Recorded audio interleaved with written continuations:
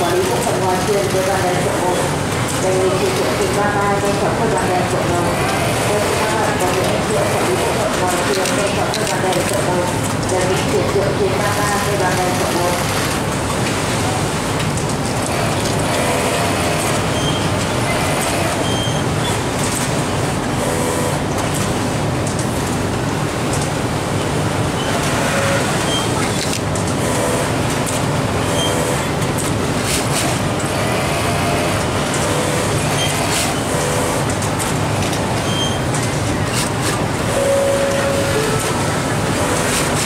đề nghị anh cửa, ký giữa quản lý bộ phận ngoài truyền về đoàn đại sở một